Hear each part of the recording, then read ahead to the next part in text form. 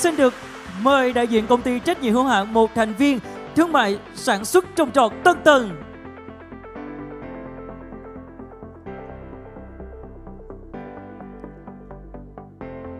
Và xin được chúc mừng Tân Tần. Chúng tôi xin được trân trọng kính mời đại diện cơ sở sản xuất nước mắm Đỉnh Hương